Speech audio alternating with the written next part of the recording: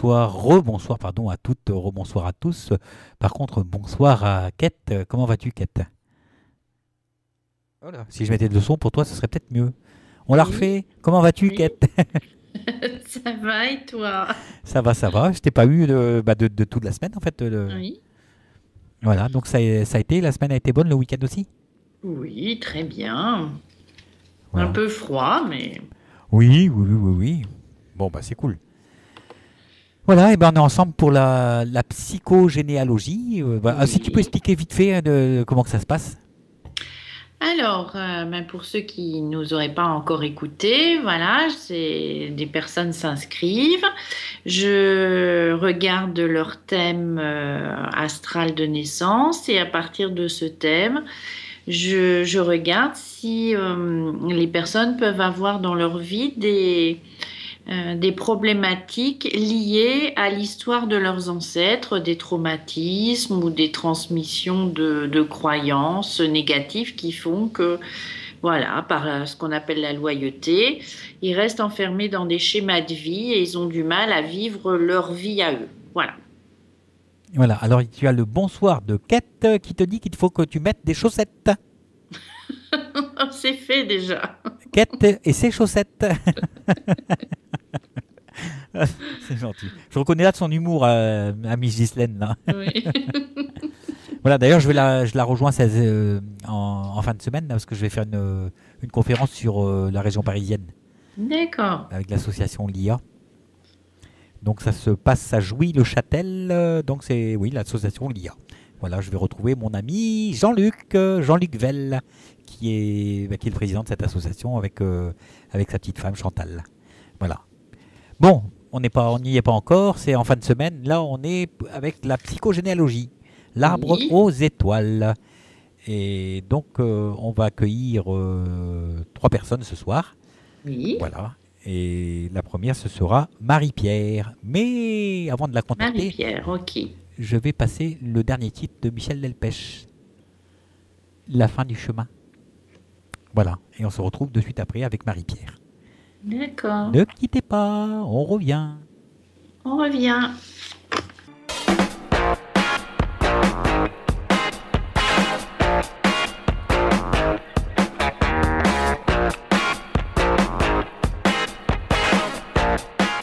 Rendez-vous tous les jeudis à de 21h sur lturadio.fr pour votre émission Au-delà des mots. L'émission où j'ai le plaisir d'accueillir des médiums et des thérapeutes. Euh, je vous donne donc rendez-vous jeudi prochain. Salut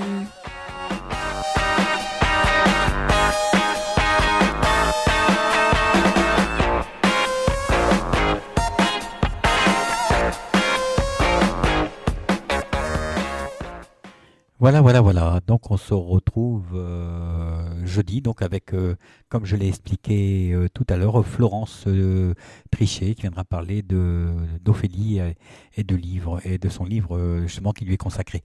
Voilà, on retrouve l'arbre aux étoiles et normalement nous accueillons, je crois, Marie-Pierre. Allô, allô, allô, Marie-Pierre. Oui, bonsoir. Eh ben dis donc, ça marche, c'est beau la technique. Ah, c'est moderne. voilà, ça va, tu vas bien? Oui, très bien, merci. Voilà, bon, bah, je vais te laisser avec. Euh, oui, ça va, ça va aussi, impeccable. Ah oui, ici, c'est toujours un bonheur. C'est le bonheur d'être euh, le bonheur d'être avec vous, en fait. Hein. Euh, bah, c'est réciproque. Hein. Voilà. Hmm. Je te laisse avec Kate? D'accord, merci. Bonsoir Marie-Pierre. Bonsoir Kate. Alors, petite vérification habituelle. Euh, naissance le 13 août 62 Oui, c'est ça. À 12h25. Oui. Voilà, ce qui nous donne un lion ascendant scorpion avec la lune en capricorne. C'est ça. Très bien. Alors, qu'est-ce qu'on peut dire de ce thème du point de vue de la psychogénéalogie? Euh, donc dans les, euh, les éléments typiques de la- l'analyse astrale en psychogénéalogie, je Mhm. vois effectivement que la maison 4, hein, qui est la maison du foyer d'où l'on vient, des, du des racines, des origines, on a, elle est occupée. On y trouve une planète et puis euh, Jupiter et Chiron. Et dans la maison 8, qui est la maison qui euh, représente euh, plutôt les tabous de la famille, on trouve Mars. Mhm. Donc, euh, effectivement, a priori, on peut trouver des choses concernant la psychogénéalogie. Ah. Maintenant, si je regarde le reste du thème, il y a deux choses qui apparaissent. Euh, c'est qu'il y a quatre planètes dans la maison 10, Mhm. qui est la maison euh, de la vocation de la place sociale, euh, dont le Soleil, Mercure, Uranus et Pluton. Ce qui euh, laisse supposer que euh, le- la position sociale, la vocation, enfin le travail en tant que vocation, prend une grande place. Oui. Euh, ça suppose beaucoup d'ambition, ce qui est pas, voilà, ce qui est pas euh, négatif. hein. Il y a des gens qui mettent l'ambition dans quelque chose de péjoratif, pas, pas pour moi. Ça dépend comment on l'utilise. Non, moi non plus. Voilà. Donc, euh, et par ailleurs, il y a de grandes tensions entre euh, Neptune qui est à l'ascendant. Donc Neptune, hein, comme je l'ai dit habituellement, c'est une planète qui, euh, qui euh, apporte beaucoup de flou. Elle est positivement tout ce qui va être du registre de l'intuition, de presque médiumnique, et en même temps, c'est, elle apporte l'illusion. C'est pas toujours si les choses sont, euh, comme on dit, du lard ou du cochon.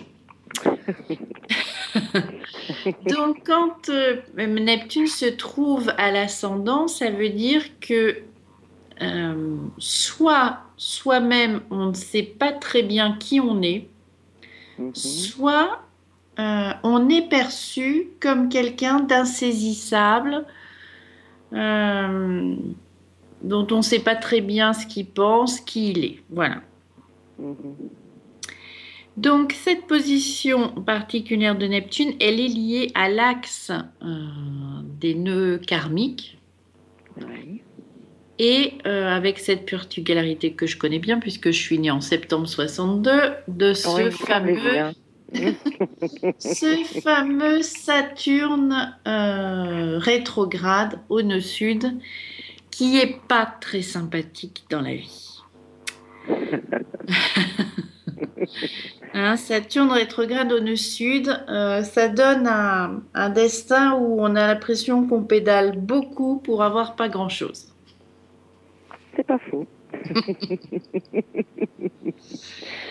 Voilà, donc quand on a posé tout ça, on se dit mais qu'est-ce que ça veut bien dire? Donc si on revient à notre euh, psychogénéalogie, euh, moi ce que je dirais a priori, c'est que euh, il y a chez vous un grand besoin de reconnaissance sociale et de se, de se battre pour prendre sa place euh, pour réparer euh, une injustice, une perte au niveau des ancêtres.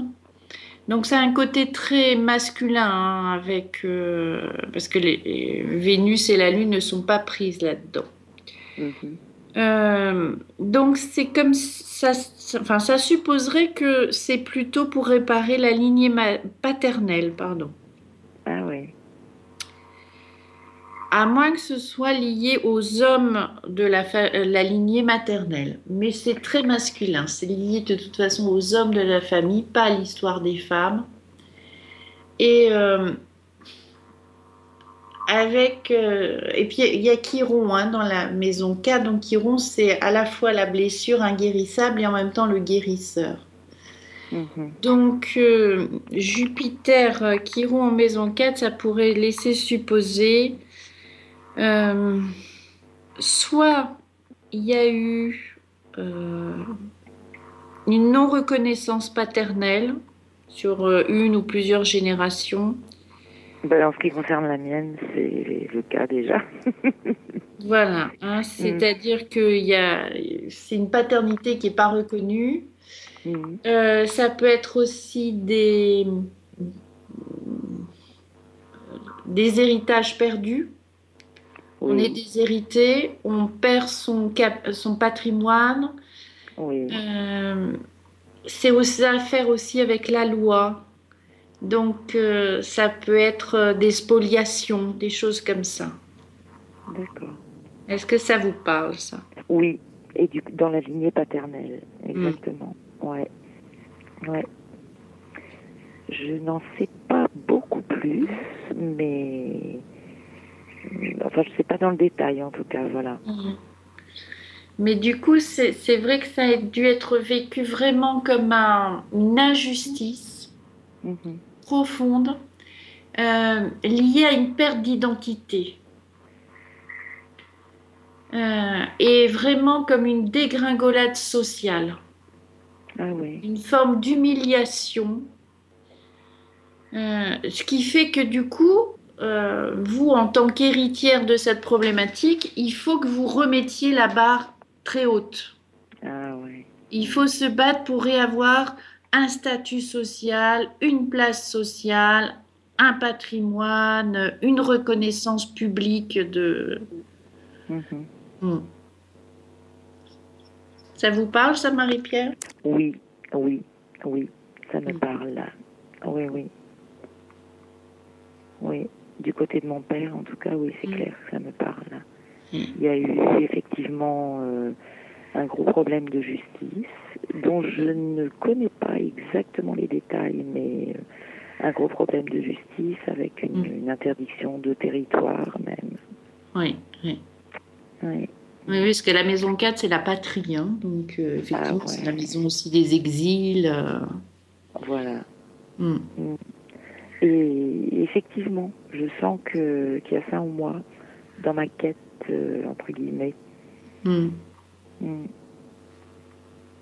Alors après, c'est pas, c'est pas forcément négatif, hein, euh, parce que ça peut être un moteur. Oui, aussi.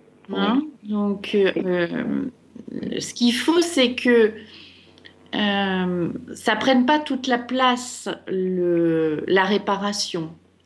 C'est-à-dire que cette- ce besoin de réparation doit prendre, doit être le moteur, mais il doit vous permettre de réaliser votre projet à vous. Oui, Il faut pas se forcer à, à franchir des étapes, à, à, euh, franchir des échelons, à vouloir avoir absolument une position sociale que pour les autres. Il faut aussi Oui. que, voilà, il faut mettre la limite entre votre ambition personnelle, qui est légitime, qui vous permet de réaliser vos projets à vous, mais ne pas aller se croire obligé d'aller au-delà de ça pour réparer quelque chose qui ne vous appartient pas.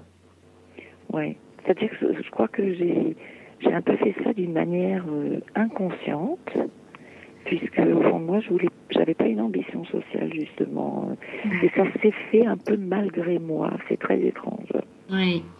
Mhm. Et, et du coup, je me suis tournée un peu vers, euh, vers euh, cette histoire familiale pour essayer de comprendre. euh, ouais. J'ai eu l'impression un peu de remarcher dans les pas de, de mon père. Oui. Et, et en fait, cette carrière euh, commencée s'est un peu arrêtée. Finalement, je me suis rendu compte qu'elle s'est arrêtée euh, au même âge que celle de mon père s'est arrêtée. Eh oui. Ouais, ouais. Ben oui, parce que vous étiez dans la reproduction du schéma et pas dans la réalisation de votre projet à vous. Ben oui, ben oui, voilà. Ouais, ouais, ouais. Mm. Ouais. Mais dans mon thème de naissance, euh, euh, il y a quand même, euh, il y a quand même ça qui est inscrit, enfin. Donc le flou, je comprends bien, si je comprends bien, euh, pour moi le flou il se situe un peu là, c'est-à-dire entre euh, qu'est-ce qui m'appartient et qu'est-ce Mm. qui m'appartient pas, quoi. Voilà. Ouais.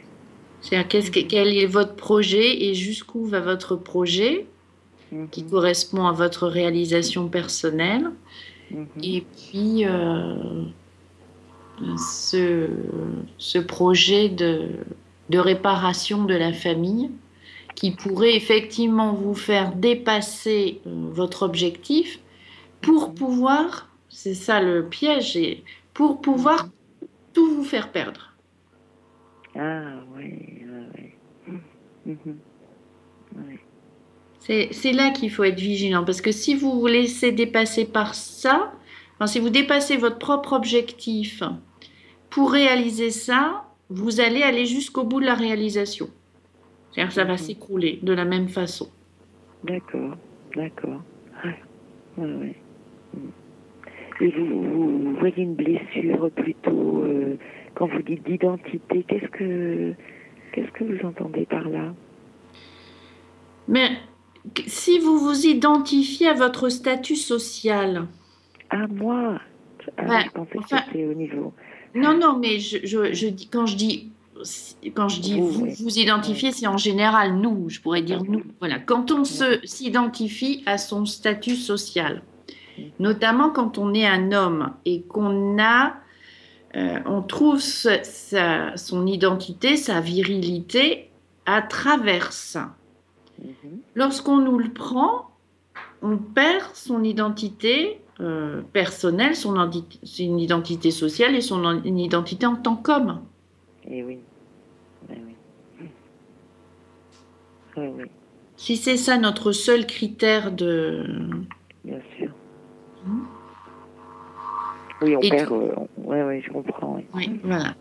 Hein, On Mhm. ne sait plus qui on est, on n'a plus de place. euh, Et il y a beaucoup de gens comme ça, hein, et puis surtout dans les générations précédentes où, effectivement, euh, notamment chez les hommes, c'était hyper important la, la place sociale. Et, hein, euh, je veux dire, les femmes existaient par leur mariage et le fait d'être mère, et les hommes par le. C'est un, un autre enfermement, hein, euh, Ouais. par leur statut social et leur profession. Ouais. Et là, quand vous parlez d'enfermement, c'est le mot puisque euh, mon père a été enfermé, a été emprisonné. Mhm.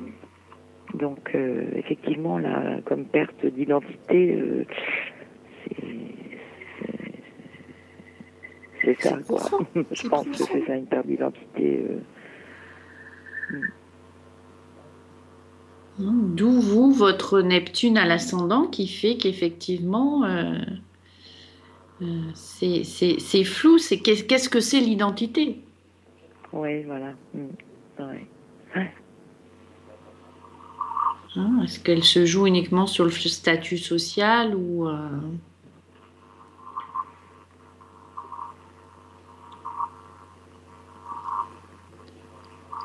Voilà, est-ce que vous avez d'autres questions, Marie-Pierre?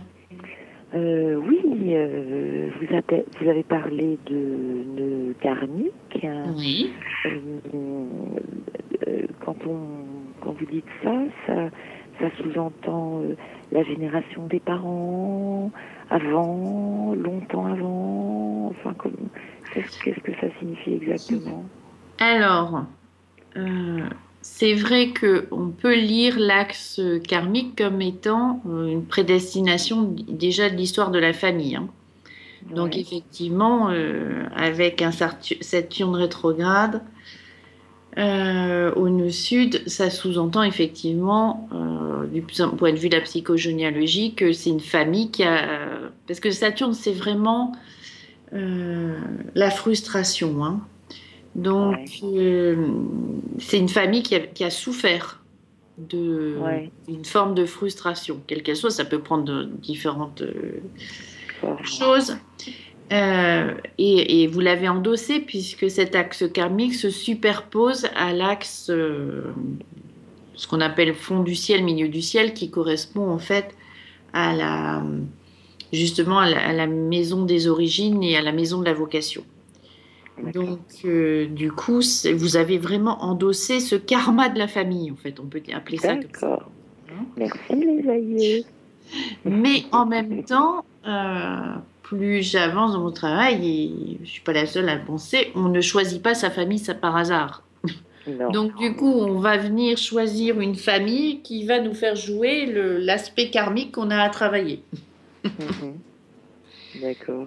Donc, euh, ça ne veut pas forcément dire que vous, euh, vous venez avec une mémoire de perte identitaire, puisque c'est pas ça qui se joue dans votre axe karmique.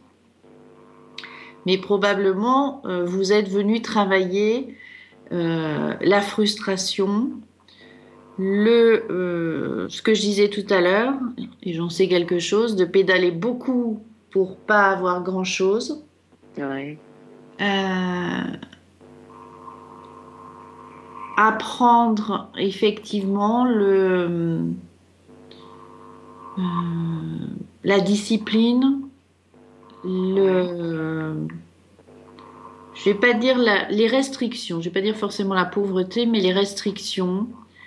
Euh, avec euh, donc l'origine dans le verso, donc ça veut dire que on a, on vient probablement avec des mémoires de s'être investi complètement dans une, euh, une communauté.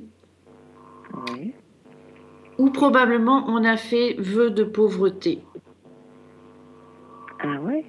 Ouais. Et du coup, on a du mal à, euh, à obtenir ce qu'on veut parce qu'on a tout abandonné à la communauté.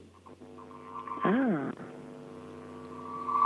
Et, comme par hasard, on a le défi euh, en Lyon, c'est-à-dire de, de rayonner, de sortir de l'anonymat, d'être une personnalité unique.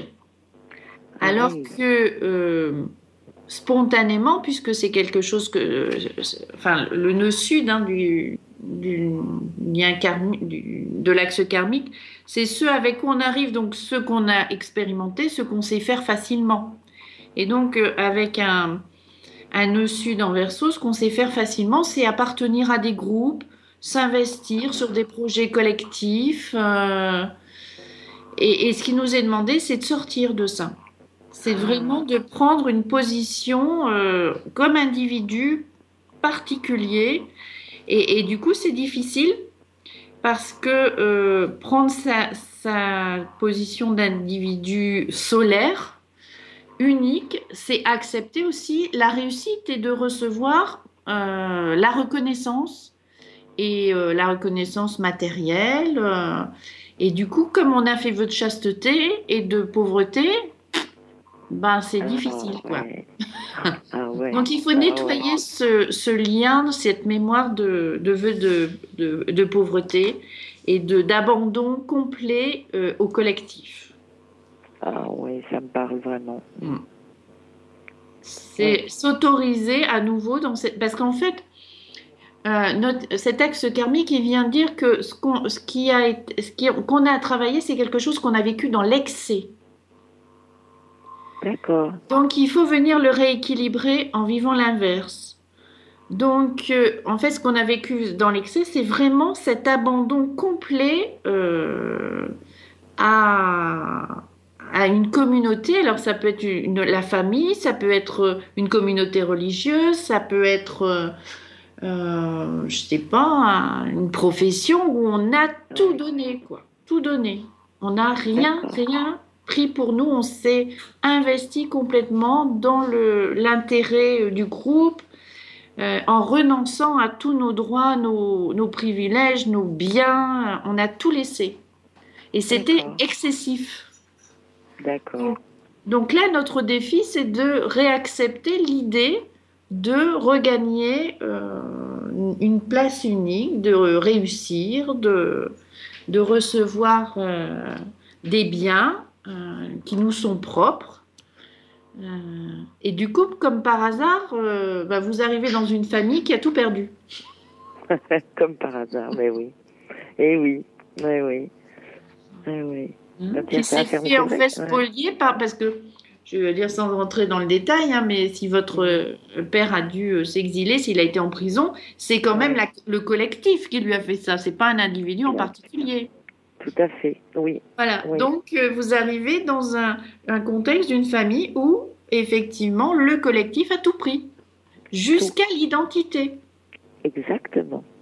Exactement. Mm.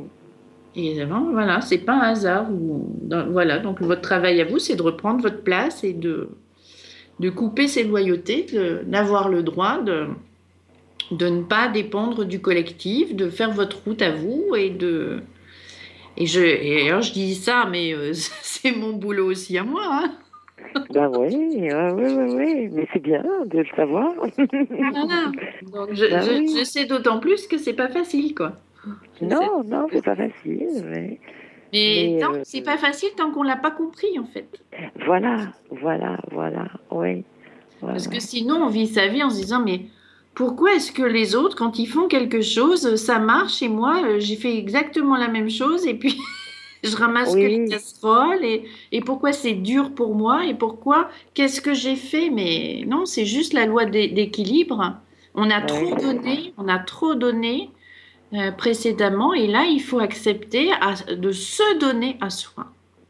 Oui, surtout que j'ai continué, moi, ce, à tout donner pendant une partie de Ouais. ma vie. Donc, c'est l'heure du redressage de cap. Voilà. Ouais. Accepter ouais. de se donner et de recevoir du collectif. Et non plus se donner au collectif. Eh oui, eh oui, oui, oui. Mm. Alors le collectif, ça peut être n'importe quoi. hein. Ça peut être la famille, les amis, le boulot, euh, euh, une, euh, une cause quelconque. hein. Ça peut prendre différentes formes. Mais oui. Il y a des aspects dans mon thème qui m'aident à ça, qui, qui favorisent ça, des, un secteur plus particulier, ou à trouver justement cette, euh, à m'autoriser justement. Est-ce qu'il y a des leviers Alors, euh, ben déjà, le- la profession, ça peut en être une. C'est-à-dire qu'il faut remettre votre ambition là où elle doit être, c'est-à-dire votre projet à vous. Ouais. Hein, c'est vraiment re- recadrer le, le milieu professionnel et la place sociale pour vous épanouir vous. C'est difficile hein, à entendre parce que euh, comme on vient avec une mémoire d'abandon total au collectif et que c'est quand même euh, l'ambiance de dire euh, il faut d'abord euh, donner aux autres et puis surtout Oui. quand on est une femme, hein, on nous a quand même Oui. bien élevés pour penser aux autres d'abord. Eh bien là, en fait, ce qu'il faut qu'on change, c'est de faire pour nous et d'abord rien que pour nous. Oui, oui. Et en fait, parce que le lion, faut, faut identifier le lion au soleil. Le soleil, euh, il distribue sa chaleur non pas parce qu'il en a envie, mais parce qu'il est le soleil. Eh oui. C'est tout, il fait aucun effort, mais tout le monde en bénéficie. On ne pourrait pas vivre si le soleil ne nous envoyait pas sa chaleur et sa lumière. Eh oui. Et en fait, c'est ça qu'il faut accepter de devenir, c'est un soleil. Ça n'a absolument rien d'égoïste. C'est réaliser profondément qui on est et parce qu'on sera ce qu'on est, les autres vont en profiter. Mm. Oui, et c'est pas facile. Ça Bah peut oui. pas être facile, ouais. ouais. Oui. Parce qu'on n'est pas habitué à penser comme Ouais. ça. Mm. Oui. Et puis pas forcément encouragé dans notre société. Non, à- non, en plus, ça peut être effectivement très mal vu. Très mal Ouais. vu. Mm. Alors qu'en fait, euh, c'est vrai que ce sont les personnes qui sont réellement qui elles sont qui euh, finalement donnent le plus aux autres. Parce qu'elles leur donnent Bah oui. aussi le respect. Il n'y a, plus d'attente. Vous vous êtes réalisé, donc vous n'attendez plus rien de l'autre. Vous ne pouvez plus que rayonner ce que vous êtes et donc vous donner.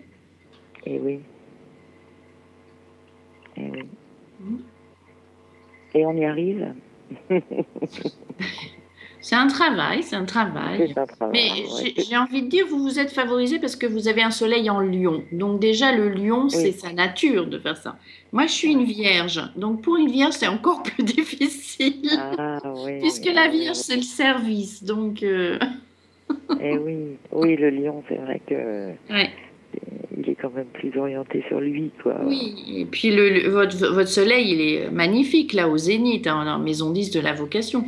Donc effectivement, c'est, il faut avoir de l'ambition pour vous, il faut réaliser votre, euh, euh, vos rêves, euh, arrêter, mais mettre la barrière là où elle doit être et pas la pousser toujours plus haut pour euh, compenser la perte euh, au niveau généalogique. Et, et elle est là la, la solution. hein, c'est- Mais après, c'est vrai que c'est un travail sur soi. C'est toujours la même chose. hein, c'est observer comment on fonctionne. Oui. Et, euh, et voilà. Et à chaque fois qu'on fait quelque chose, est-ce que je le fais pour les autres ou est-ce que je le fais pour moi? Et renoncer à, à cette idée de l'égoïsme. Quand on fait quelque chose pour soi, c'est quand on se fait du bien à soi. Bien sûr, si c'est, il faut pas que ce soit au détriment des autres, mais à partir du moment où on se fait du bien à soi et que ça ne fait de mal à personne d'autre, on n'est pas obligé de faire passer l'autre avant. Bien on s'en sort mais- pas parce que sinon on crée de la dette vis-à-vis de Eh l'autre. oui. Ah oui. Hmm. Bon, ben.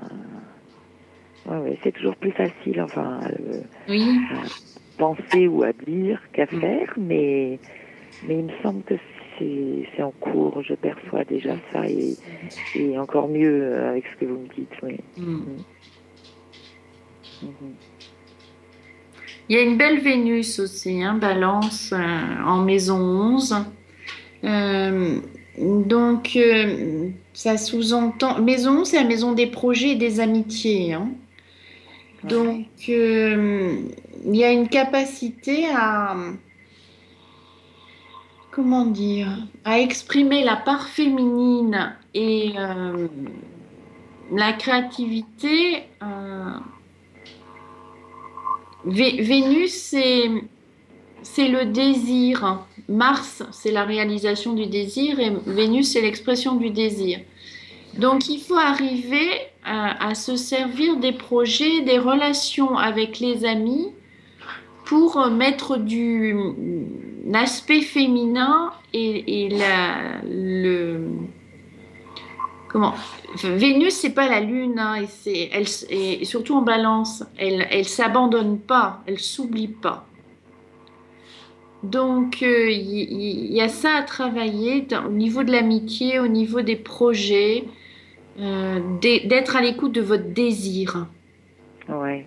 Hein. il y a un désir d'harmonie avec la Balance de beau dans sa vie de Ah, ça, c'est clair. Oui. voilà Ouais. C'est très fort chez moi, oui. Donc euh, c'est peut-être cette, euh, c'est peut-être là le levier aussi, parce que du coup comme c'est l'aspect très féminin, ça, ça, ça, euh, ça peut permettre de ne pas se sentir obligé de respecter le, le désir des hommes, de la famille, de, de réparer, mais justement Ouais. de, de compenser avec quelque chose qui soit plus de votre désir à vous. Ouais.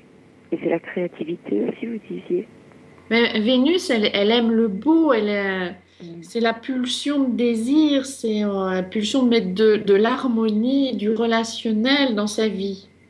Hmm. Elle est tournée vers les belles choses, euh, Ouais. les belles choses, les belles personnes, euh, les belles émotions. Et c'est aussi euh, la, la porte de l'axe karmique. D'accord. Ouais, Parce donc, qu'il y a un un aspect positif ouais. avec l'axe karmique. hein. Donc Mhm. c'est une porte de, de sortie, de, euh, voilà, de, de réaliser cet aspect-là pour euh, euh, développer votre créativité, pour mettre de l'harmonie et vous rendre compte que c'est à travers ça que vous pouvez euh, rendre le monde plus beau et que vous rendrez le service. C'est plus en vous sacrifiant pour le collectif, mais en mettant du beau dans votre vie que vous, euh, vous pouvez apporter au collectif. Ouais, c'est clair, ouais. Hmm. Ouais, c'est très clair. Hmm. Hmm. Voilà Marie-Pierre. Ouais. Je peux me permettre de vous poser une petite question Oui. Euh, La lune en Capricorne, qu'est-ce qu'elle évoque par rapport à ce soleil en Lion? La lune en Capricorne, ben, elle fait un peu écho au, au Saturne. hein. D'accord. euh, puisque le- la planète du Capricorne, c'est Saturne. Donc c'est une lune un peu sérieuse. Un peu sérieuse. Oui, c'est parce que le. Capricorne, c'est il assure, c'est un signe de responsabilité. Donc la lune en Capricorne, ça donne des enfants qui prennent rapidement des, des responsabilités. Hmm. Euh, c'est une émotivité qui a du mal à se, à se manifester, qui va toujours se raccrocher à euh, je dois, il faut. oui, donc ça va dans le même sens, d'accord. Voilà. Et. Donc, euh, mais en même temps, c'est euh, c'est pas forcément. Enfin, ça peut effectivement suivre avec l'éducation devenir une lune très frustrante, mais en même temps, c'est une lune qui qui est capable de prendre soin de soi justement. S'appuyer là-dessus parce que c'est aussi une lune qui n'a pas forcément besoin des autres. D'accord, C'est pas une dépendante, je veux dire, émotionnellement. Hein? d'accord. Ouais, Donc, Ouais. euh, du coup, elle peut soutenir effectivement ce, ce, ce, enfin, ce projet. ce projet de, de se réaliser par soi-même, parce que justement, n'étant pas la- dans la dépendance, on peut s'autoriser plus facilement à ne pas euh, attendre de l'autre et à donner pour recevoir. Elle se, si- elle se euh, suffit à elle-même, la lune. Oui, c'est vrai, d'accord. Ouais. Hmm. Oh, c'est bien tout ça, merci. Ouais, je vous en prie, Marie-Pierre. Merci beaucoup. Bon, ben, je vais, voilà, je vais avancer dans ce sens-là. Merci pour tout ça. Vraiment. Belle piste de méditation. Oui. Merci, je, je vous ai écouté euh, plusieurs fois, vraiment. euh, je vous remercie, j'aime beaucoup votre manière de d'aborder euh, Merci, les thèmes que vous abordez. Vraiment, merci. Et puis, ben, bonne soirée, alors, merci Bonne à Jess. soirée. Et puis, Voilà. à une prochaine fois, peut-être. À une prochaine fois, peut-être. Why not? Merci beaucoup. Au revoir, Marie-Pierre. Au revoir. Salut Marie-Pierre, à bientôt. Au revoir, Jeff. Eh ben, c'était super sympa. Oui. Hein On continue? Oui, on va continuer. euh, On va pas, hein, on va pas quitter une si belle lancée. Alors, euh, qui c'est qu'on accueille? Ce sera Sophie. Sophie, d'accord. Voilà. Et on va écouter euh, Joyce Jonathan Le Bonheur. D'accord. Voilà. Donc on va parler un petit peu du bonheur. Et puis, euh, bah, j'espère que tu auras des, des choses sur le bonheur à lui raconter après. Et J'espère aussi. À hein. notre amie Sophie. Voilà. À tout de suite.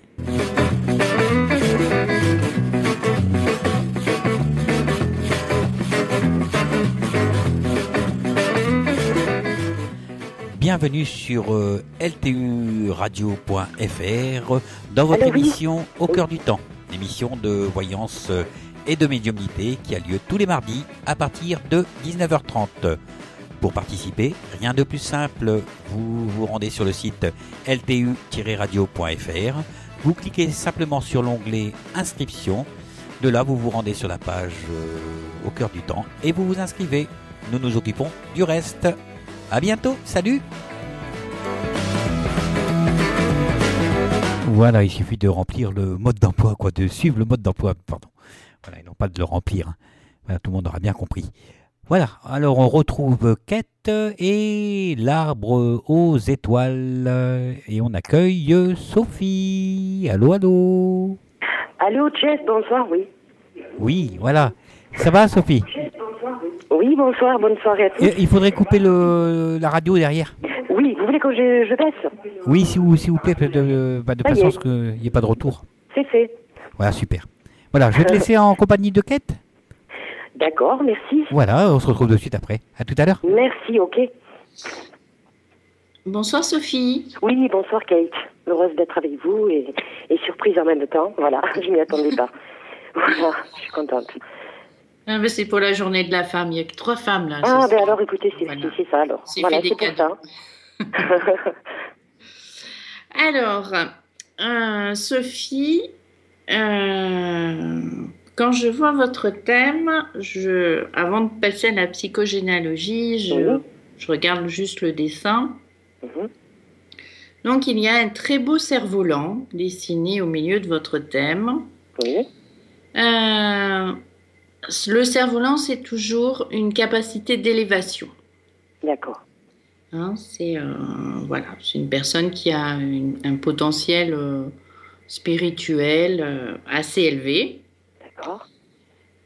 Euh, ça, c'est la bonne nouvelle. Oh, bah, écoutez, c'est déjà pas mal, hein. Oh, que veut le peuple, hein La mauvaise nouvelle, c'est qu'il y a un aïe, prix à payer. C'est un quoi? Il y a un prix à payer. Oui. Alors, je ne sais pas pourquoi vous appelez. euh, Qu'est-ce Oui. qui vous a mis la puce à l'oreille, qui vous a donné envie d'appeler, mais ça doit pas être tous les jours facile. Ça n'a pas été tous les jours facile. Voilà. Non, c'est vrai. C'est Euh, vrai. C'est vrai, c'est c'est assez, enfin, jusqu'à présent, assez difficile. Voilà. alors, je vais quand même, j'ai pas fait la vérification avant de continuer. On va peut-être euh, vérifier quand même. 29 juin 65, Voilà, c'est ça. 17 heures. 17 heures, voilà. Donc, c'est bien ça. Alors, donc, si je reviens à la psychogénéalogie, les trois maisons euh, caractéristiques hein, de la psychogénéalogie sont occupées chez vous. Oui. Donc, dans la maison des origines, on retrouve euh, Saturne, Mhm. qui est jamais une, une, une, une planète très sympathique dans ce cas. hein, Elle vient Ouais, c'est ce que j'ai entendu dire. hein. Voilà. oui. Bon, et- Saturne n'a pas que des côtés euh, négatifs, hein, mais c'est vrai qu'en Oui. psychogénéalogie, il vient souvent marquer euh, quelque chose d'assez euh, dur. Conflictuel, vous voulez dire? Non, Saturne, c'est pas le conflit. Saturne, c'est pas le conflit. C'est les épreuves. C'est plus, voilà, les épreuves, euh, les frustrations, les ruptures, euh, les pertes, plus que les ruptures. Rupture, c'est plus euh, Uranus. Les pertes, euh, et puis euh, au niveau de l'éducation, des choses assez rigides, des manques. hein. tout à fait, oui. Et euh, ce Saturne est à côté de Chiron, hein, donc Chiron qui est la blessure euh, inguérissable et qui est en même temps le guérisseur. Oui. Donc, euh, qui laisse sous-entendre qu'effectivement, vous avez été désigné un peu dans cette famille pour euh, venir euh, à la fois porter le symptôme, Oui. pour le montrer, et une fois qu'il est visible, pour le, le dépasser. Oui. Mhm. D'accord. En maison 8, euh, non, j'ai peut-être commencé par la 12. euh, La maison 12, c'est la maison de ce qui a été des souvenirs, des mémoires qui ont été enfouis. Oui, qui ça. sont oui. perdus dans, dans l'inconscient des, des, des générations. D'accord. Euh, donc là, on y trouve Neptune, ce Oui. qui sous-entend que on a vraiment tout fait pour l'oublier. C'est pas involontaire, c'est Oh, volontaire. Voilà. Excusez-moi de vous couper. Oui. Pour oublier, c'est-à-dire que c'est moi qui aurais. euh, Non, non, non, c'est dans l'histoire de la famille. D'accord. Voilà. C'est-à-dire que vous êtes porteuse sans le savoir de mémoire que la famille a tout fait pour oublier. D'accord, très bien. C'est bien pour moi ça. Euh, sachant que euh, y a une correspondance, enfin un lien très fort euh, dans votre thème entre Neptune et Saturne qui marque les secrets de famille. D'accord. Ensuite, la dernière maison, donc la maison 8, euh, on y trouve quatre planètes.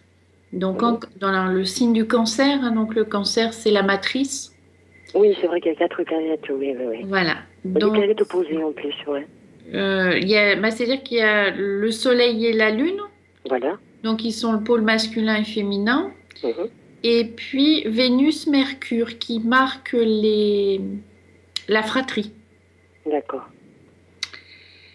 Voilà, donc euh, ça donne l'impression que... Comment dire? Il est si difficile que ça, mon thème. Ben, il est, il est pas facile, oui. ah, voyez Ouais, ouais. Quelque part, je sais qu'il y a un blême, quoi. Vous, Voilà. vous comprenez ce que je veux dire? Oui, Il y a quelque chose qui...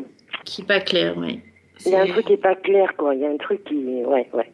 Parce que là, ça signifierait cet aspect euh, euh, à la fois, parce que c'est comme si hum, le Soleil et la Lune marquaient les parents et Vénus, euh, Mercure les enfants. Oui. Tout ça dans la matrice, euh, relié à ce fameux Saturne. C'est comme si euh, il n'y avait rien de clair dans la généalogie.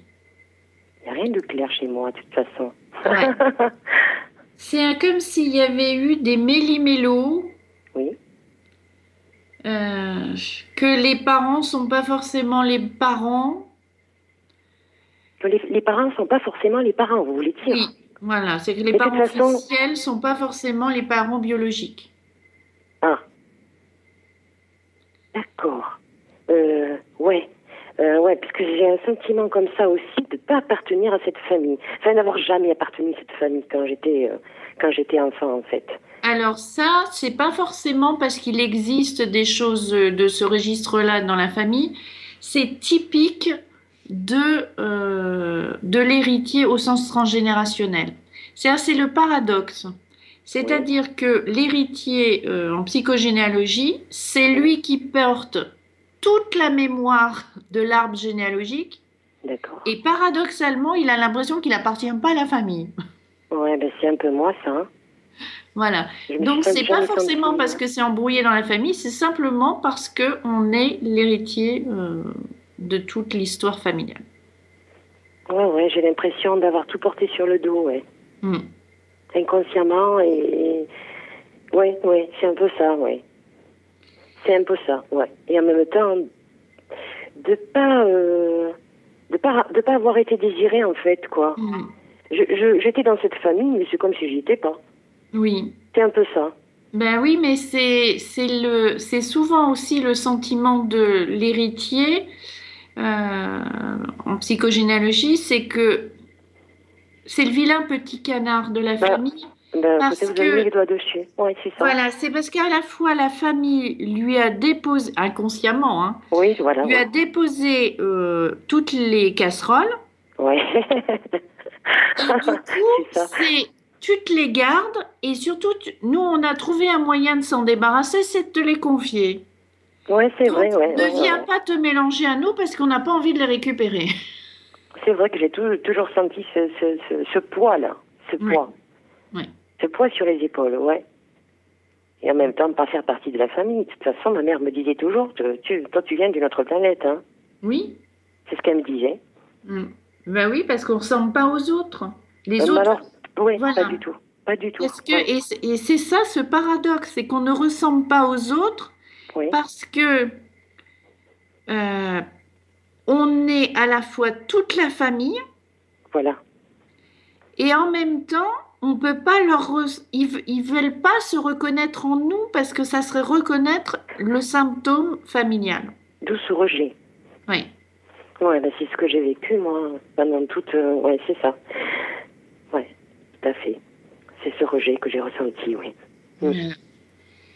Et du coup, l'origine de ce rejet, c'est une histoire de famille. Alors, c'est c'est un peu compliqué parce que ça donne l'impression que, à la fois, les liens euh, parents-enfants étaient perturbés, Oui, oui, oui. et en même temps, c'est comme si c'est ça qui avait fait tenir. C'est-à-dire que, euh, comme si parents et enfants avaient tout fait pour maintenir une espèce de matrice, une espèce de nœud, de, enfin, de nid.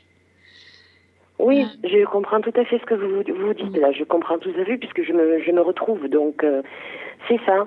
Oui, oui. En même temps, on fait partie de la famille, mais bon, euh, voilà, parce qu'il faut. Mais Voilà. après, euh, voilà, non. On n'accepte pas, voilà. C'est Hein, ça.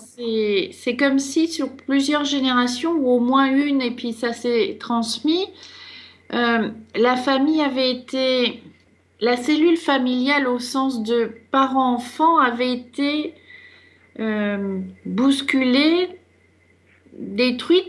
Je, je, je vais prendre un exemple, c'est peut-être pas du tout ça, mais c'est pour Oui. que ce soit parlant. Oui, Ça pourrait être le genre de famille où, euh, par exemple, euh, il y a eu euh, la guerre et puis on a perdu plusieurs enfants en bas âge. Mhm. Et par exemple, des femmes se sont retrouvées veuves avec des enfants. Elles se sont remariées. Elles ont eu à nouveau des enfants. Oui. Et peut-être elles se sont retrouvées veuves et, et, et en fait, cette, cette euh, souffrance de, des veuves, des orphelins ou des... euh, ça s'était consolidé. En fait, on, on, on re- resolidifie la famille. C'est que- C'est-à-dire que du coup, on crée des liens très forts entre frères et sœurs, entre cousins, cousines, entre oncles et tantes, comme s'il fallait compenser. Oui, parce que ce que vous me dites me parle, parce qu'à chaque fois, en fait, ce sont des liens qui se sont défaits après dans le temps. Oui, Dans ma vie actuelle, hein. oui, oui. Du fait que je me suis affirmée un peu plus, Les liens se sont défaits. Bon, ma maman, je l'ai plus puisque je l'ai perdu. Et mon papa nous a tourné le dos. J'ai l'impression qu'il n'a jamais eu de famille. Oui, Donc c'est vrai que c'est cette impression que j'ai là. On, on, on reste ensemble parce qu'il faut rester ensemble, parce Oui. qu'on crée des... Je me demandais pourquoi. Pourquoi ma mère avait fait des enfants Parce que je ne me suis jamais sentie acceptée, puis on a été tous élevés différemment en fait. oui. Voilà, et on n'a pas appris à tisser des liens. C'est moi j'en avais inconsciemment, j'en avais des liens. Oui. Je m'accrochais, je m'accrochais. Mais, euh, comment dire, involontairement, sans que je sache pourquoi, ça s'est défait tout seul, quoi. Oui. C'est- des situations incompréhensibles. C'est comme si en fait les liens n'étaient pas des liens du cœur mais des liens de sécurité. Voilà, c'est pas des liens du cœur, puisque ça tenait qu'à un fil, en fait. Oui. Mais c'est des Voilà. liens de sécurité. Et moi, je l'ai vécu très mal. Hmm. Parce que comme je suis cancer aussi en plus, Oui. euh, assez hypersensible, émotive et tout, donc euh, c'est vrai que c'est truc... là le, le paradoxe encore, Oui. c'est que c'est des liens qui sont tissés pour euh, la sécurité, mais comme il n'y a pas de lien du cœur, ils, ils deviennent très insécurisants. Tout à fait, oui. Oui, j'ai oui, oui, oui, j'ai passé par tous les par tous les états, c'est vrai. C'est vrai, j'ai tout fait pour m'accrocher, Hmm. pour m'accrocher à ma mère, pour m'accrocher à ma famille, pour avoir un semblant de famille. Oui. Mais euh, ça l'a pas fait. Je crois que ça l'a fait que dans sa fin de vie quand j'étais avec elle, Oui. malheureusement. Hmm. Mais c'est euh, une histoire familiale comme ça, où euh, on s'est accroché aux liens familiaux, non pas par, euh, par amour et par lien du cœur, mais juste pour maintenir la sécurité. Parce que Ouais. c'était trop douloureux, les gens avaient, ont vécu des choses trop douloureuses et ils étaient incapables de le traverser seuls. Donc ils se sont regroupés pour euh, reconstituer une espèce d'œuvre sécurisant. Mais en même temps, comme il n'y a pas vraiment de lien du cœur, c'est pas c'est pas sécurisant du tout. Oui, oui, c'est pour ça que j'ai toujours senti que, en fait, je, je me suis, euh, je me suis faite toute seule, en fait. Hein. Oui, oui, Parce que j'ai pas eu trop de. Comment dire D'éducation. C'est moi qui ai appris à, à, à savoir ce qui était bien, ce qui était pas Oui. bien. Nous, on a eu la base, si vous voulez. L'honnêteté, euh, tout ça et tout. Mais c'était tellement strict, tellement. euh, voilà. Saturne, oui. Voilà, ouais, ouais. Ça a été plus ça, oui, oui, oui, oui. Oui, oui, ça a été plus. Mais hein, je, je suis en train de me défaire de tout ça. Et c'est, comment dire, c'est, c'est difficile de se dire que finalement, on ne peut pas compter sur sa famille. Oui. Enfin, on peut, pas compter, on a l'impression de, de, de ne pas en avoir eu, en fait. C'est un peu ça. Parce qu'on se sent un peu vide aussi. On se dit, on a tout porté, puis après, euh, au final, il reste quoi? Voilà. Mais il reste une autre famille. Bah écoutez, euh, C'est la famille d'âme. tout à fait, c'est ce que je recherche. C'est pour ça qu'en ce moment, euh, je vis une quête, euh, comment on peut dire, spirituelle. Oui. Et, euh, et j'essaie, en fait, j'ai coupé avec pas mal de choses et avec pas mal de, de choses que je faisais et comment j'étais dans le passé, Oui. vouloir m'accrocher aux gens Mhm. pour me faire aimer, pour me faire apprécier. Oui. Et là maintenant, c'est vrai que je m'affirme, mais un peu tard, mais vaut mieux tard que jamais. Hein. Et j'essaie de m'affirmer et d'essayer d'arriver à être moi-même. Parce que c'est ça qui est difficile. Quand on doit enlever toute, euh, tout ce vécu et ne plus vivre en fonction de ça, quoi. Oui. C'est ça le plus difficile. Ben oui, parce que vous avez été construite pour, pour ne pas avoir votre vie à vous, mais pour porter l'histoire des autres. J'espère que je suis pas là que pour ça. Ah ben non, heureusement. Vous voyez ce que je veux dire? J'espère que je suis pas là que pour ça. Mm. Parce que, voilà, des fois je me dis, mais qu'est-ce que je fais sur Terre? Mm. Franchement, si c'est pour vivre des mélodrames et des, des trucs en tout genre, c'est pas la peine. Oui, mais peine. vous êtes là justement, c'est ce fameux cerf-volant, hein, c'est pour vous élever au-dessus de tout ça. Ben voilà, c'est ce que je commence à comprendre en fait. Que je dois m'élever au-dessus de tout ça. euh, euh, voilà, parce que là j'ai pas mal de changements dans ma vie. euh, Mhm. Il y a, il y a tout quoi. Il y a un gros balayage sur pas mal de choses. hein. Sur euh, ma vie, euh, comment dire, sentimentale et, et amicale. Et j'ai tout construit euh, sur des bases euh, qui étaient, euh, mais qui à mon sens au début étaient vraies, Mais qui après euh, se sont avérées fausses en fait. Hein. Je vivais une relation d'attache et de dépendance avec quelqu'un de très gentil aussi, Mhm. marié pendant 28 ans. Et finalement, au bout d'un moment, je je sais pas, j'écoute mes intuitions aussi, je, aussi et je me dis, euh, bon ben si tu fais pas ça, une petite voix qui me parle à l'intérieur qui me dit si tu fais pas, si tu bouges pas, tu vas droit dans le mur. C'est Oui. tout. Et c'est ce que j'ai fait, j'ai sauté le pas. C'est vrai, que- je me retrouve seule. Bon, j'ai quelques amis à qui je peux parler qui sont sur le même, euh, comment dire, la même vibration que moi. Et, et attends, je fais, je fais un coucou à Eve et à Paola, voilà, qui m'écoutent et comprendront. Et donc, euh, euh, voilà, et là, je, je vais vers ce chemin-là parce que, euh, parce que là, j'ai coupé des liens quand même de- depuis 28 ans qu'on était mariés. Et je passe à autre chose, mais, mais je l'ai fait, mais vraiment dans les règles de l'art, quoi. Oui. Mais Discuter, 28 ans, c'est un cycle de Saturne. hein. Donc, c'est. euh, voilà, c'est. c'est- Parce que vous, vous- votre difficulté, elle se manifeste par un grand carré hein, dans le, le thème. Oui, Et euh, du coup, euh, c'est. c'est- Voilà, c'est comme si vous aviez fait le, tour des angles du, de ce carré oui. en revenant à Saturne, puisque Saturne est dans un coin. Mhm. Et voilà, vous avez fait le tour. Vous tour, d'accord. expérimenté ce que vous aviez à expérimenter dans, euh, dans la relation, dans la famille, dans le couple. Mhm. Voilà, c'était. euh, vous avez- l'avez expérimenté en tant qu'enfant et vous l'avez expérimenté en tant qu'adulte. aussi. Voilà. Qu'est-ce que c'est une famille terrestre? Des liens de, du sang, des liens de d'amour, de protection, c'est fini. Voilà, ça c'est. Et vous passez à autre chose. Vous allez vivre votre cerf-volant maintenant. Ah, je vais dire mon cerf-volant, c'est beau ça. Mhm. C'est beau ça, c'est tout ce que je veux.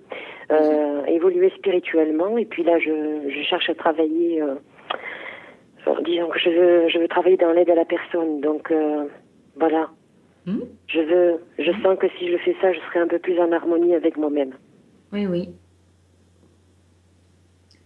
Et, en même temps, euh, dans ce cerf-volant, il y a le, euh, il y a Saturne, il y a Neptune qui sont pris dedans, et puis la, la Lune-Soleil, donc c'est harmoniser euh, l'aspect masculin-féminin.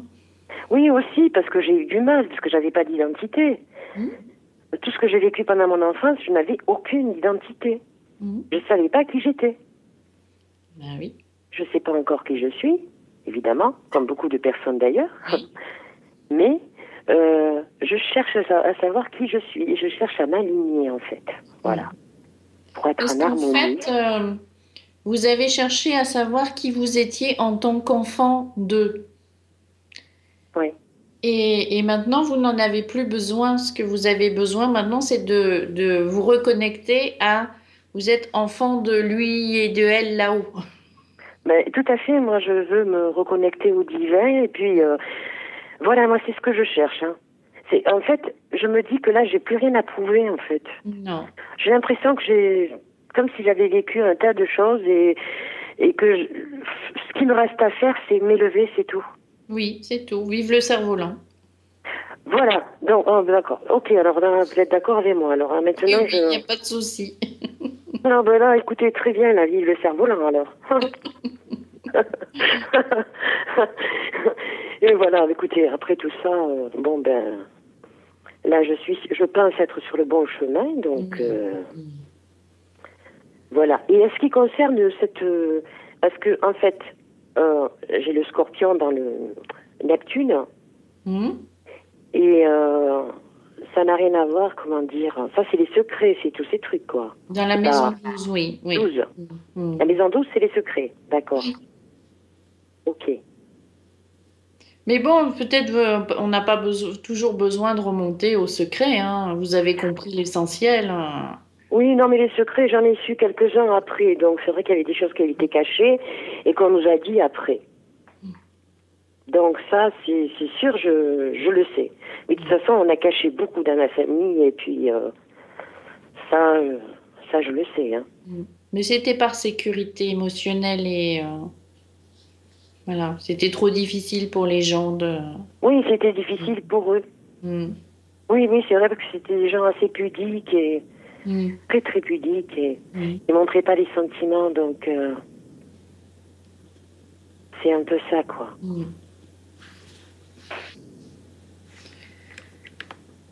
Voilà, Sophie. Bon, mais très bien, écoutez. Je vous remercie, Kate. Mais Je vous en prie, Sophie. Continuez de vous élever, de vous envoler là. Ben, je continue. Mais vous savez, il y a un truc qui. Pas trop, Comment dire même. hein.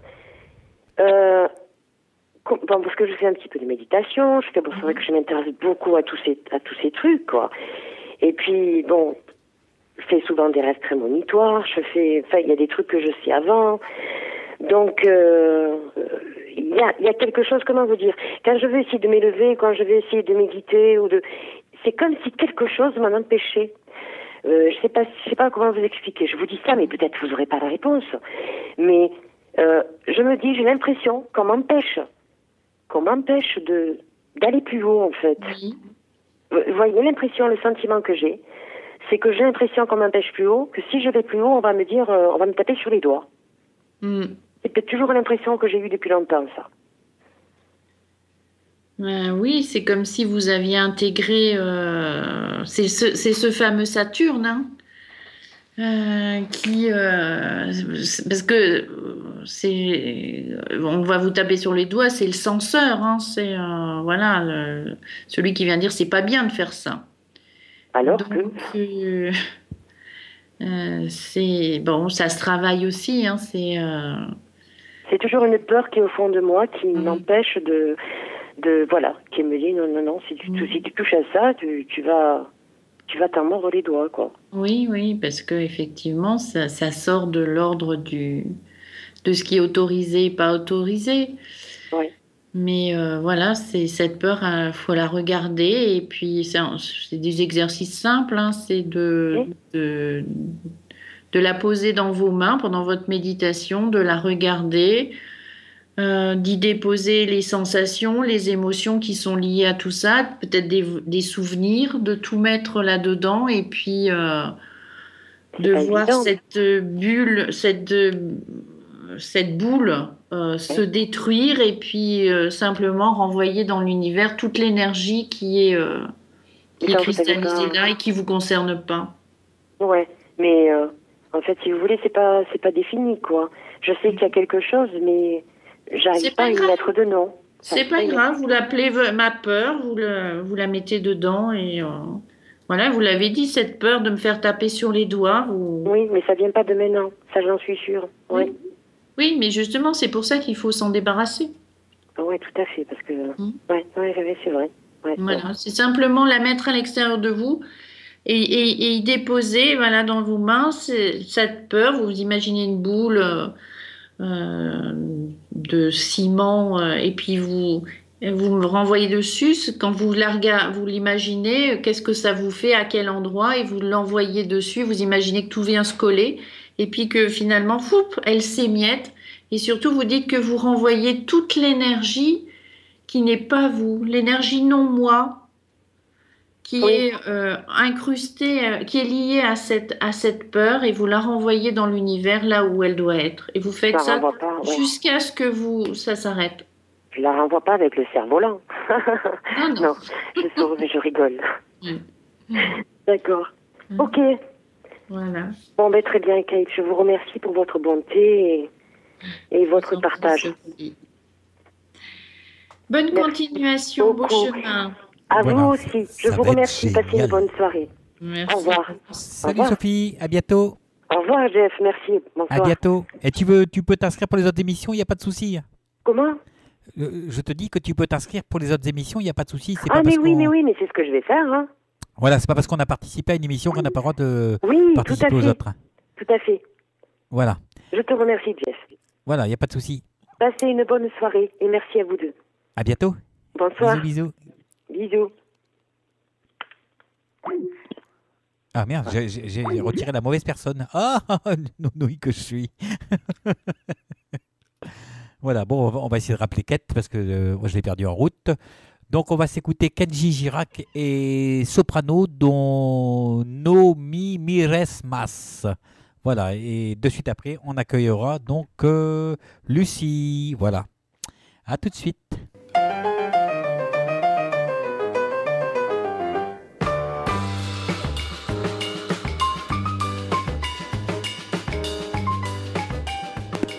Salut, c'est Isa.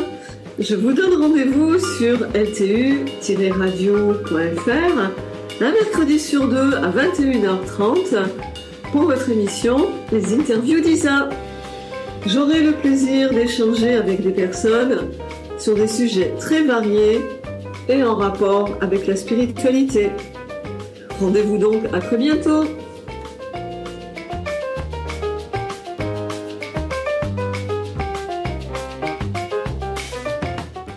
Voilà, vous avez rendez-vous euh, la semaine prochaine avec euh, Miss, euh, Miss Isabelle, voilà, qui recevra son invité. Voilà.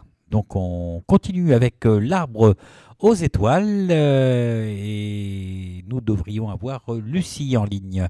Allô, allô, Lucie? Oui, bonsoir. Oula, que tu es loin. Tu m'entends bien? Allô? Oui, oui, je vous entends bien. D'accord, bon, bah, ça, ça va à peu près. Ici, ça va à peu près. Je vais mettre un tout petit peu plus fort. Voilà. Je vais te laisser en compagnie de Kate. Ah Oui, Bonsoir, merci beaucoup. À tout à l'heure. Bonsoir, Kate. Enchantée. Enchantée. Alors, petite vérification, 21 juillet 85 C'est ça. à 16h. Oui. Ce qui nous donne un cancer ascendant scorpion avec la lune en vierge. Ah Oui. Alors, euh, Lucie.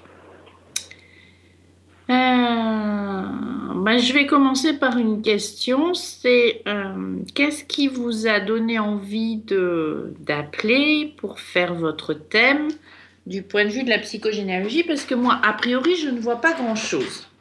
Mais ça ne veut pas dire qu'il n'y a rien. D'accord. Ben, en fait, euh, si vous voulez, c'était c'était un thème que je j'étais curieuse de, de connaître parce que Oui. c'est vrai que on n'en parle pas euh, très souvent. Hmm Et, euh, et en fait, euh, étant donné que je suis très attirée par euh, tout ce qui est spirituel euh, et je m'y intéresse de plus en plus, du coup, j'étais quand même assez euh, assez attentif à ce genre de à ce genre de, de spiritualité. Du coup, euh, voilà, c'était plus de la curiosité et puis euh, D'accord. euh, voilà. Bon, alors, moi, quand je regarde le thème, qui est un peu... Enfin,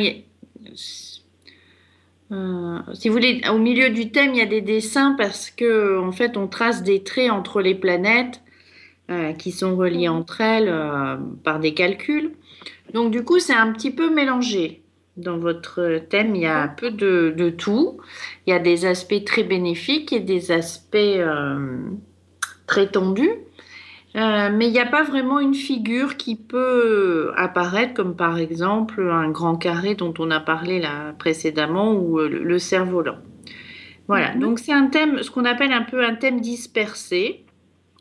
C'est-à-dire que les planètes sont euh, dans, euh, euh, dans différents signes. Alors ça a ses avantages et ses inconvénients. C'est l'avantage, c'est qu'on est un petit peu touche à tout parce qu'on a des énergies un peu différentes. L'inconvénient, c'est que comme on est un peu touche à tout, on a du mal à trouver sa voie. D'accord. Euh, sinon, pour revenir à la psychogénéalogie, donc dans la maison 4, qui est typique euh, des racines, euh, du foyer, de nos origines, il n'y a rien. Dans la maison 8, qui est la maison des tabous, j'ai Vénus, qui n'est pas forcément une, une planète difficile mais en même temps, elle est associée à Chiron, Chiron qui n'est pas dans la maison 8, qui est dans la maison 7, donc la maison des, relations aux autres. D'accord. Euh, ils sont un peu, bon, il y a un aspect tendu à la Lune et à Uranus. Ça pourrait signifier quand même euh, peut-être des une difficulté avec l'aspect féminin dans la famille. Oui. Euh, une difficulté pour les femmes à assumer leur, euh, leur féminité, à trouver vraiment leur, euh, leur place en tant que femme ou en tant que mère. D'accord. Mais c'est pas c'est pas flagrant quoi. Voilà. D'accord. Après dans la maison 12 où qui est la maison de, des mémoires enfouies euh, de génération en génération. C'est vrai qu'on trouve Pluton. Euh, Pluton qui est, relié à un soleil Mars. Donc ça peut suggérer effectivement des, des mémoires de un peu de conflit, si c'est pas de violence. D'accord. Est-ce que ça vous parle tout ça? De conflit? Euh, Oui, ça peut me parler, effectivement. Effectivement. Hmm. Dans... Oui, dans ma famille, c'est assez conflictuel, donc euh, c'est peut-être par rapport à ça, mais... Euh, Alors, dans la famille, c'est ça, serait sur plusieurs générations. C'est-à-dire que c'est une famille qui est une, une lignée qui est vraiment construite sur, parce que bon, dans les familles, ça peut arriver hein, que dans mhm. une cellule familiale, il y ait des conflits, mais c'est pas forcément, euh, ça traduit pas forcément euh, toute l'histoire de plusieurs générations. Là, si c'était lié à la psychogénéalogie, ça voudrait dire que euh, il y a une lignée maternelle ou paternelle qui est construite sur cette, sur ces conflits, sur cette violence. Alors, ce n'est pas forcément non plus une violence à l'intérieur de la famille. Ça peut être aussi euh, des violences qui ont été subies venues de l'extérieur. D'accord. Mais c'est n'est pas flagrant, flagrant. Hein. Euh, D'accord. Je ne suis pas convaincue qu'il y ait une problématique transgénérationnelle chez vous, c'est ça que je veux dire. D'accord. D'accord. Par contre, c'est vrai que c'est aussi... Euh, la maison 12, c'est la maison des derniers mois de la grossesse. Hein. Donc, euh, ça peut effectivement supposer que pendant la... Euh, que votre mère vous, vous attendait, il y a eu effectivement des gros, grosses problématiques de conflit ou de violence. D'accord. Est-ce que vous en avez entendu parler? Est-ce que vous savez comment ça s'est passé, euh, sa grossesse? Euh, Moi, pas spécialement. C'est vrai que c'était euh, pas forcément une grossesse désirée. Donc, en fait, mis à part ça, c'est vrai que j'ai pas, j'ai pas de souvenir. Enfin, ma maman m'a jamais trop parlé de ça. Oui. Non, j'ai jamais trop su, mais je sais qu'en tout cas, c'était pas une grossesse désirée au départ. Donc, peut-être que du coup, c'est pas c'est parti un petit peu, on va dire, de travers. Après, le reste, j'en ai aucune idée. Ça suffit pas pour euh, justifier Pluton. D'accord, d'accord. Ça serait vraiment euh, quelque chose de...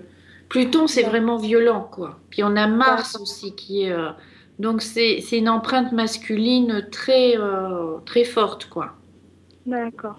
Bah écoutez, non. J'ai pas. On m'en a pas trop parlé, donc euh, Mm. j'en ai aucune idée. Mm. Donc, euh, est-ce que vous, dans votre parcours personnel de vie, vous vivez des gros conflits des... Est-ce que Euh. vous avez l'impression, par exemple, que les hommes sont particulièrement agressifs vis-à-vis de vous? Non, pas particulièrement. Non. Non, pas spécialement. Vraiment. euh, Non. Non. Non, je vous dis, je vois pas particulièrement de, psych- de, de problématiques psychogénéalogiques. Mhm. Mm. Non, non, c'est vrai que non, dans mon parcours, c'est jamais trop. C'est plus avec les femmes que j'ai souvent bon, un peu plus de mal à m'entendre, mais euh, sinon, pas. Non. Les hommes, non, en général, euh, c'est pas. pas tout ça. C'est vrai que ce, cet aspect tendu entre Vénus, la Lune et Uranus montre effectivement une... Mais en fait, le, le, le- ça donne l'impression que le conflit que vous avez euh, à- avec les femmes à l'extérieur est un, le reflet d'un conflit à l'intérieur de vous. Mhm.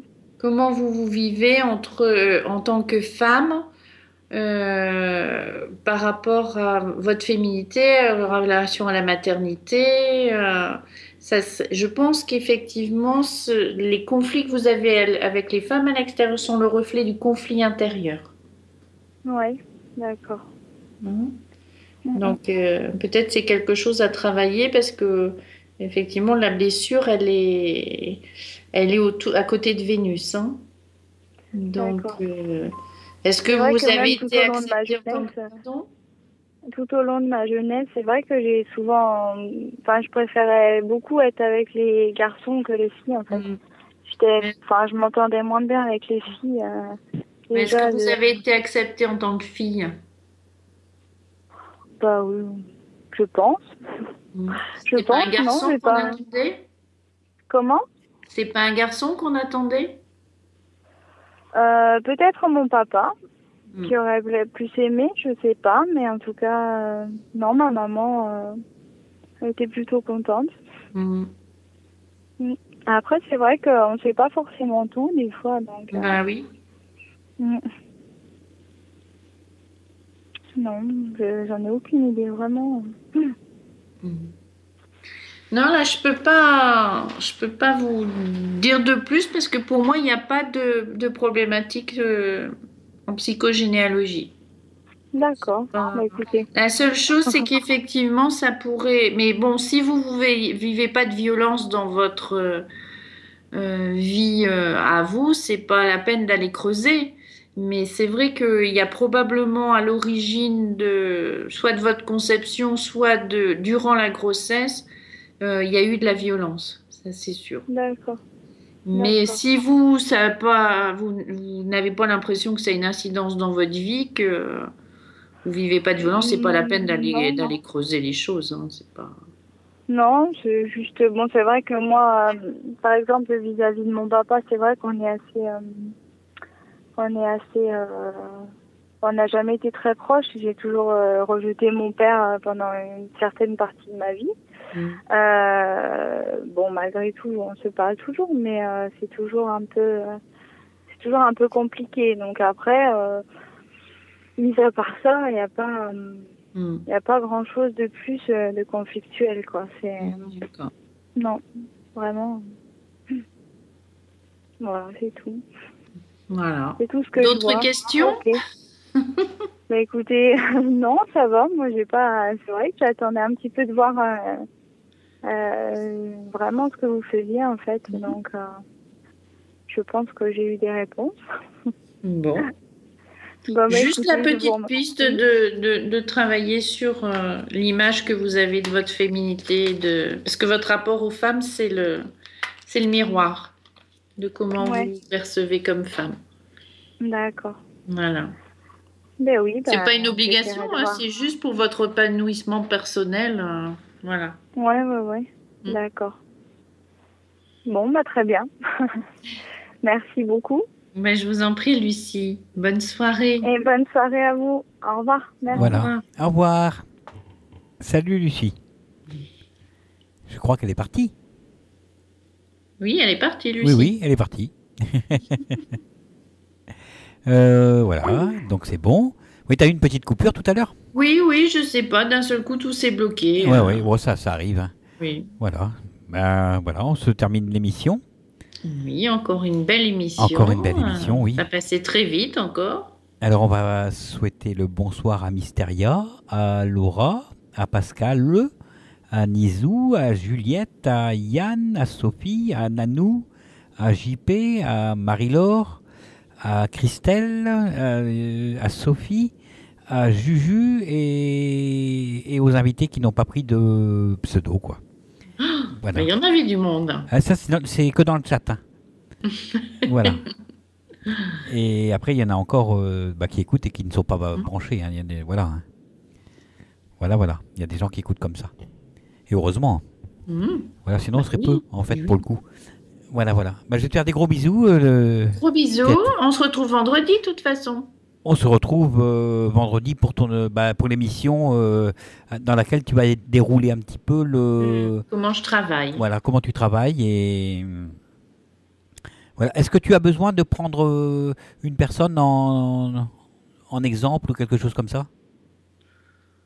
Euh, non, parce que c'est un peu particulier, donc on peut pas faire ça à l'antenne. D'accord, d'accord. Voilà. Ok. Donc on, on, va, on va simplement dérouler le voilà. voilà le- l'émission, le, le Oui. dérouler le, le- co- comment dire ça, le Vous déroulé. peut-être d'une- donner des exemples de, de, de, de gens que j'ai accompagnés, sans dire des noms, bien sûr, mais je- Bien et puis des petits morceaux de comment ça, effectivement, comment ça se passe, ce qu'on peut faire apparaître, et voilà.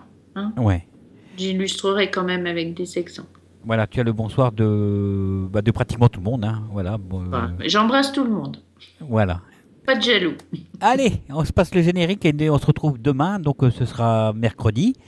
Et on, on va retrouver notre amie Jacqueline qui, est, qui revient après quelques péripéties. Voilà, avec sa maman. Mhm. Et donc elle nous revient en forme, euh, voilà, pour la plume de l'au-delà. Donc euh, pour les personnes qui sont inscrites, ben, il y a des chances qu'elles passent. Et pour les autres, eh ben, inscrivez-vous tout simplement hein, sur le site. Et en deuxième partie de soirée, on aura la TCI avec euh, Laurence et Seb. D'accord. Voilà. Donc euh, là aussi, bah, si vous voulez passer en TCI, donc en tr- transcommunication instrumentale, bah, vous vous inscrivez sur le site euh, ltu-radio.fr. Voilà, je vous dis à demain et on vous souhaite, Kate et moi, une bonne et douce nuit. Bonne nuit. Voilà, De, générique. de nouvelles lunes.